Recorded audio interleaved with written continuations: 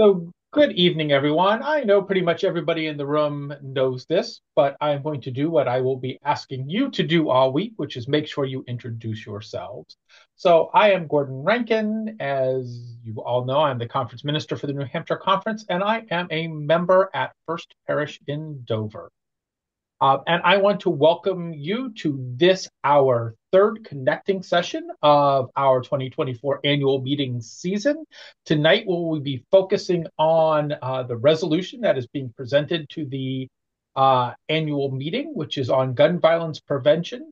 Uh, I will let us unfold the full name of the resolution a little later on, but uh, a few pieces of um, Zoom etiquette protocols, whatever you want to say, just to remind you of. Uh, first is if you are not speaking or asking a question, we would encourage you to mute yourself. That helps uh, keep there from being background noise, which distracts from the speakers at that time. Um, and it seems like you've all already stepped into that uh, way of doing things, so we're very appreciative of that. Um, I would remind you, as you heard just a moment or two ago, that we do record these um, sessions. These sessions then get posted on our YouTube channel. This will be posted before I leave this evening. Um, so just be thoughtful while we want you to get to ask your questions and stuff like that. Um, we want you to just remember that it's being recorded, not saying anything that you don't want out there for the entire world to hear, such as this is not a good place to share your Netflix password. So. Uh, and finally, to remind you that this evening is a annual meeting connecting event. Um, so it is pursuant to the standing rules for our annual meeting, which means um, when you go to speak, or at least for the first time this evening, please introduce yourself by name and uh, the church community that you are a part of.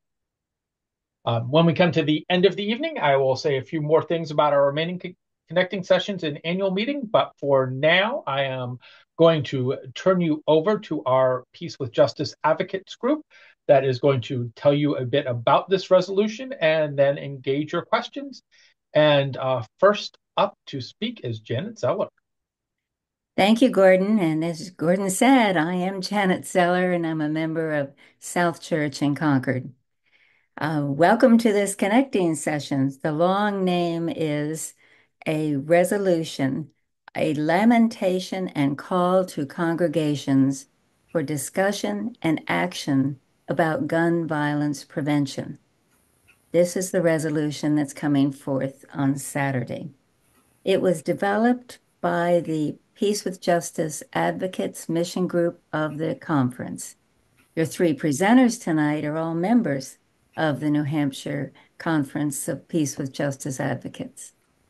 Um, in addition to me presenting, also will be the Reverend John Buttrick and the Reverend Faye Buttrick.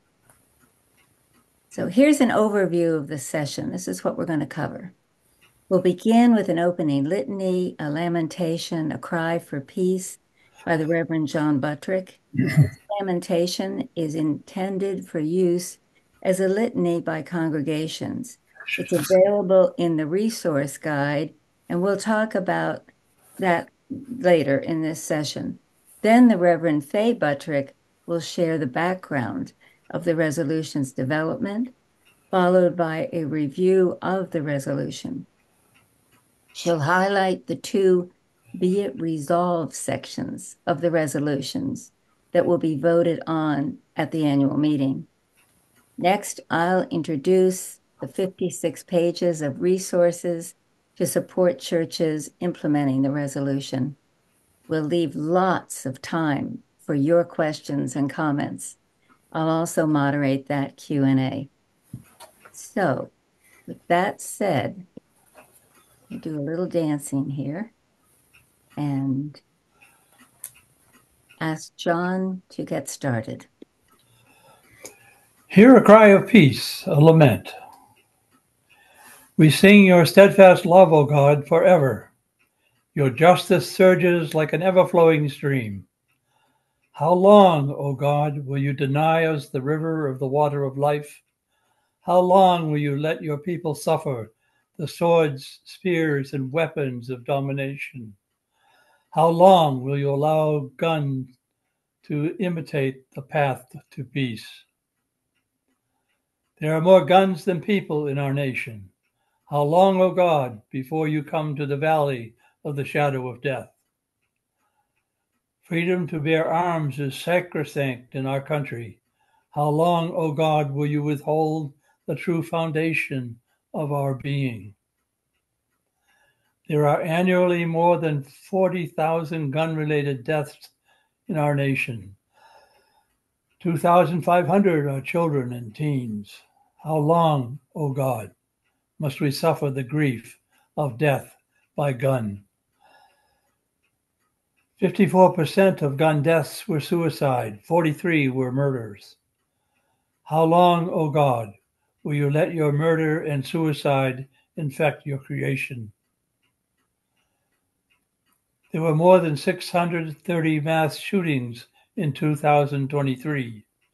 How long, O God, must daily sorrow burden our hearts?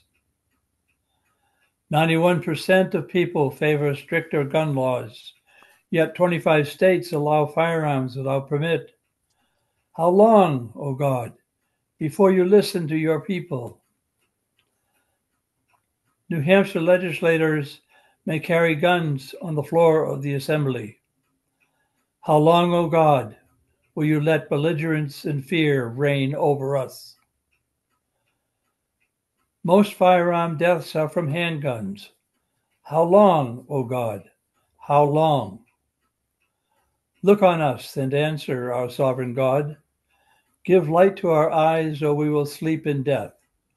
Take not your waters of justice from us, that we may drink in your love and peace for all creation. Do not withhold your shield of love from us. We sing of your wisdom, power, and grace. Come, be our refuge and our source of peace. Thank you, John. Faye? I'm Faye Buttrick uh, and a member of South Church here in Concord. The Peace with Justice Action Mission Group sponsored a workshop titled Gun Violence Prevention and the Church at this year's February Prepared to Serve. Out of that wide ranging conversation that represented nine different churches came first one person and then another joining in, saying they would like to be part of such a healthy discussion in their church. This resolution has been written with that purpose in mind. The resolution is online with its own direct link, and you'll find that in the chat. I want to just run briefly through the resolution, which follows the New Hampshire Conference guidelines. The resolution opens with a summary statement and let me read from that. This resolution calls on congregations of the conference to engage in awareness, discussions, and study about gun violence for the purpose of taking actions toward preventing that violence, both individually and as an organization. The background that comes next lists a few of the many available statistics on gun violence in the United States. And then we move on to the rationale for the resolution.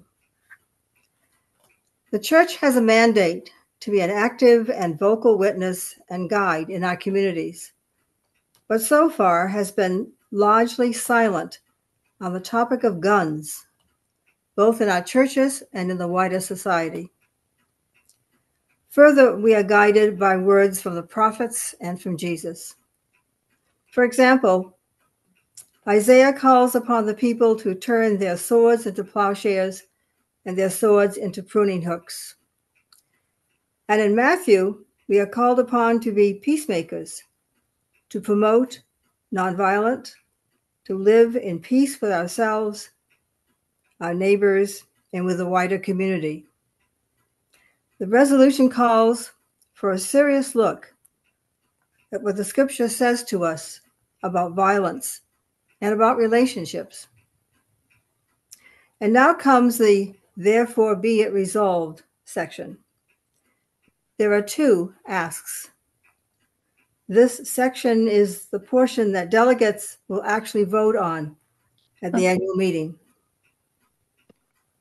Getting ahead of myself here. Sorry. The first one is a therefore be it resolved that we shall be silent no more. We shall cry out to the God of peace and justice to save us from gun violence. The churches of the conference mourn with the countless communities and families that have suffered terrible losses every year due to gun violence. And then the second ask be it further resolved that the 223rd annual meeting of the New Hampshire Conference of the United Church of Christ call upon the churches of the conference to become informed, discuss, and be active regarding the misuse of guns in our communities and the prevention of gun violence as consistent with our faith and practice as Christians. The resolution calls us to study and to talk together within our churches and then to engage with the wider community on the implications of gun violence. And that ends the resolution. Thank you, Kay. Faye. I saw Kay. I'm changing your name. Okay, let's move on to the resources. Um, the resources are 56 pages long. I hope you've had a chance to browse through them or even have already downloaded them from the website for the annual meeting. They will also permanently be at the website that is on the bottom of this screen. If you want to jot that one down, it is also in the chat. This, um, oh, just a minute. I've got too many things on my desk here. The 56 pages of for implementing the gun violence prevention resolution is downloadable. As I said, it's currently on the conference, and after that, it will be on this other website. Both links are in the chat. The resources include the Cry for Peace Lamentation Litany John shared earlier, as well as an implementation plan for the awareness, discussion, and action called for by the resolution.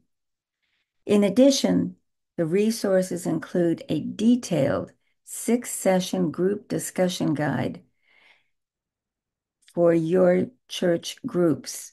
In addition, there are 150 links to further information on gun violence prevention.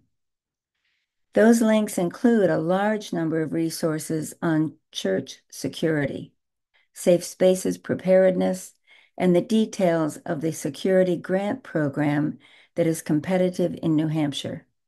That grant provides up to $150,000 for safe spaces improvements, training, etc., for any one facility each year. Resources, the resources guide also has information about the New Hampshire Guns to Gardens program.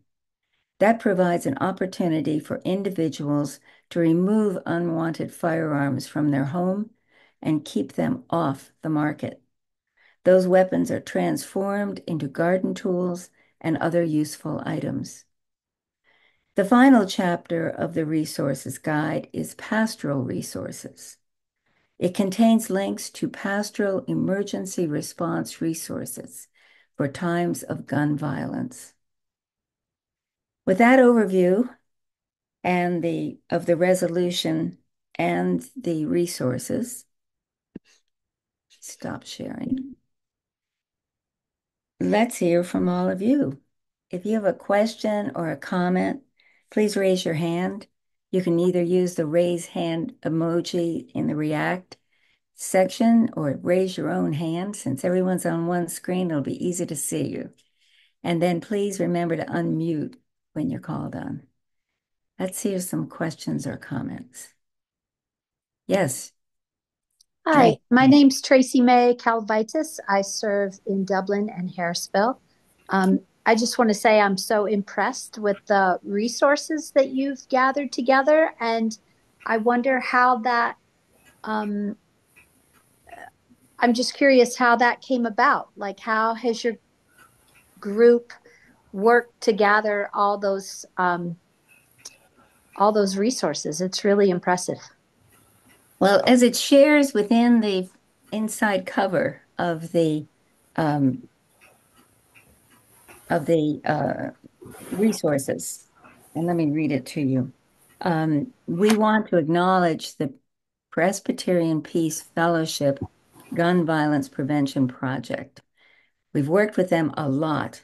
They are very generous with their um, sharing of the resources they have developed over the years and they share them no copyright. They say use them, use them, use them any way you can. In addition to that, there the uh, National Office of the UCC provides additional links. And we talked a lot with Don Bliss, who's a security assessment specialist, and he gave us lots of information and the information about the safe spaces and we've also been beating the bushes for other connections. Nancy Brown with the New Hampshire Guns to Gardens has worked closely with us, and we partner with Guns to Gardens, New Hampshire. Uh, the Peace with Justice advocates do. Um, Zandra Rice Hawkins from Granite State Organizing Project will be at the annual meeting in Nancy's place at a Guns to Gardens table to give you a lot more information about that. Um, Faye John and I will be at the Peace with Justice Advocates table, and Becky Field, who many of you may know, will be there with the Finding Home table. And Becky's also part of the Peace with Justice Advocates.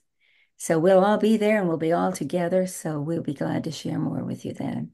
And I do hope Thank you'll you. utilize the resources and and and get discussing in your church. It's really important to have that conversation. Thank you, Tracy Lee. Yes, you've you've made it easy to do that. Thank you. Other comments, questions?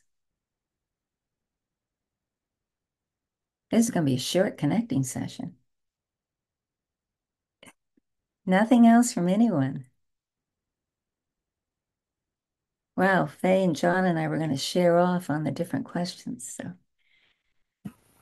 So, okay. I would just urge everyone to vote in favor of the resolution, since we have time to, to pitch for that. Um, Gordon, And- do you want to say anything about that voting process? Faye is going to be speaking on behalf of the resolution in her two minute piece. But how's it going to work? Uh, so the voting process will be, uh, Faye will be making the motion. This has, is a recommended resolution coming from the Board of Directors. It will not need a second. Um, we will go into our time of deliberation. Um, that time of deliberation will begin with Faye as the person who's made the motion being the first to speak to it. Um, and then we will alternate between people speaking uh, for the motion or against the motion. Um, obviously, um, uh, um, amendments can be made to the motion during that process.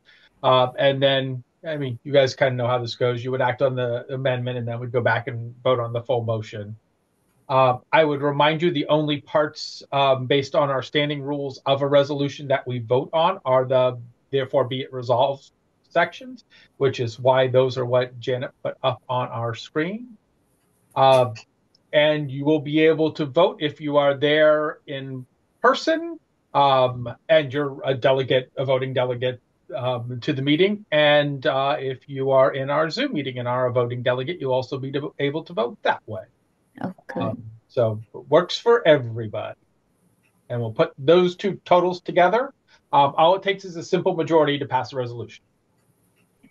Hmm. So if you'd like to be one of the people who volunteer to speak on behalf of it, if you're on behalf of it, that would be very helpful. that too.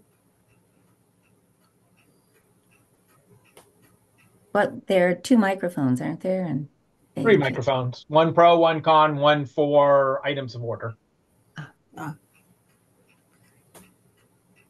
It doesn't look like we have any other comments. Really, folks? I- I will have to say Oh, when oh, David, are you commenting or are you? Yeah, I just was wondering, Janet and Faye and John, if you could tell us how this resolution compares to others in other conferences across the denomination. Have you seen anything else like it? Is it is No. it unique? Is it that that kind of thing? Uh, Gordon sent me over to Maine conference to ask them, following the terrible shooting in Lewiston, had the conference taken some action, and they said that they had uh, gathered up their forces to work with their legislature, but they had not done anything for a conference ride resolution to um, have the individual churches move forward within their own church for the discussion. We've not found one doing quite this. And were it not for the prepared to serve session, as Faye explained, um, I don't know that this is the, the route we were going to take. It just became very clear that churches need to start with this discussion because, wow, was that a wide ranging 75 minute conversation? Wouldn't you say, Faye, John? Yeah, exactly. And it certainly turned our thinking in a, a different direction. There's a need. yeah. So thank you for all your interest in joining us this night. Yes, we appreciated it. Appreciated the 25 minutes together. Gordon, is there any suggestion you have for anything else we might want to cover?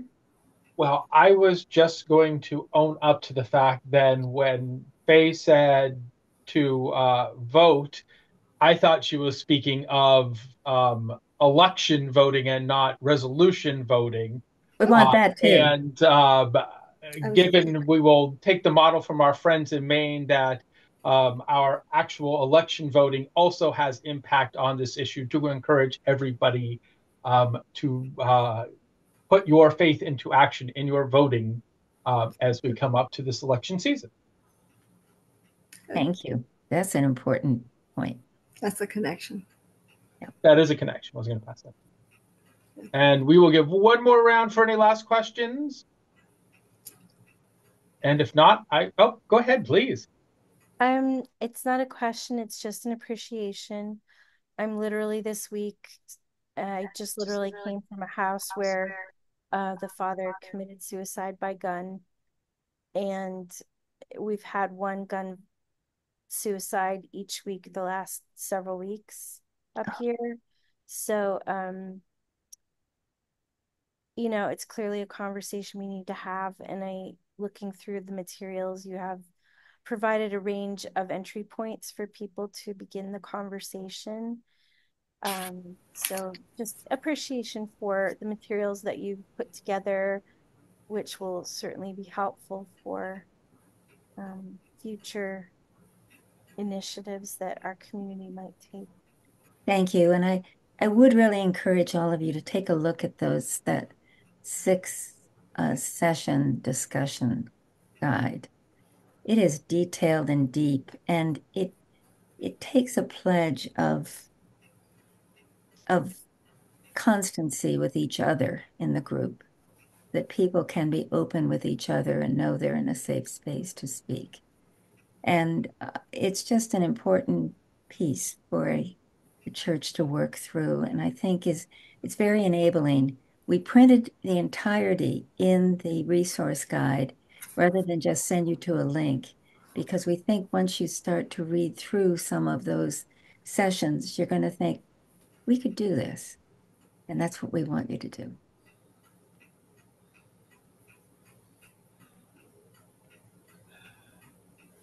Hey, John, anything else? Yeah, I, I, I could say uh, what my motivation is. Um, J- Janet is the is the poster in the resource packet, It's the Uh, last page. the last page. What I was really, what I'm working toward And what this resolution, I hope, You see that? Lord, is no firearms of sanctioned in this uh, sanctuary and church building to be posted on our churches. And there's more to it. Anyways. What's that? And there's more to it. I know, but I can't see it. Okay, I'll read that part. Oh, oh, following Jesus' command, put away your sword. Jesus also said, Do not be afraid, for I am with you. Because what, one of the things that it makes people nervous sometimes to think that, to announce that there are no guns in the in the uh, building. But that's my goal. That's what I want to happen. It's there as it says this sign may be used. We know of some other possible signs, so if churches get to that point, I'll make sure we'll make sure to add that link. The other thing is if you run across a link that isn't in here that you think we should add, please send it to me. My Um, email address is on the front, and we consider this a living document. We want to keep adding to it. Hmm. So share what you find. I think that really is everything we have. Well, thank you, friends, for being with us this evening. I would like to just remind you of our remaining connecting sessions. We have one more pre annual meeting connecting session on Thursday when we will be introducing you to our uh, newest ministry initiative known as Ministry 21. I- am not going to tell you all about it tonight. That you got to come on Thursday to be, you know, learn about. So uh, you will hear a bit more about it at the annual meeting actually itself, and Ministry 21 will be the recipient of our annual meeting offering this year. Uh, and then is our tradition post the annual meeting. Uh, we have two um, opportunities uh, to have conversations with Sarah and myself. Those will be on Sunday at four o'clock and next Tuesday at seven o'clock. And those you get to set the agenda for. Um, we'll say, what do you want to talk about? And we will talk about those things. So um, please feel free to join us for any of those. And then just want to um, uh, not remind, that's not the right word, but just uh, reflect on the fact that we will be gathering together for the annual meeting uh, this Saturday, either uh, in person at Geneva Point or uh, via Zoom if you're a delegate, or on YouTube if you are a visitor. Um, we look forward to having everyone together. One little um, word of information to share with you all, and uh, I think this actually went out in an email today. If not, it's going out in the morning. Um, is uh, to let you know that the, the meeting space where we're actually meeting together is a heated building. However, two of the other spaces that we're utilizing, the barn where probably many of us will eat lunch, and the chapel where we will do check-in and where our exhibitors are, are unheated buildings. Ooh. Um, it is um, only supposed to be in the high 50s come Saturday um, at the heart of the day. So we're encouraging you to bring a couple of layers um, because they may be welcome things to have with you while you are with us for the annual meeting. Um, so, I have, a, I have a question for you, Gordon. Yes. Where are the exhibit tables? Uh, the exhibit tables are in that chapel space. Check in and, and the exhibit tables oh, the unheated space. In the unheated space, yes. Okay. Um, so yes, particularly those of you who are hanging out in there for a, a while, you're going to want to have some layers. Um, or yes. if you have a youth coming to our day at camp where you'll be outside a lot of the day, that's another good set of people to have some extra layers. Okay. Um, so uh, want to give ample warning before you arrive so you can consider that. Thank you. We appreciate that. Very, very good. And with that, unless anybody has questions about the connecting sessions or annual meeting, um, we will bid you a good night. Thank you. Good night. Thank you all.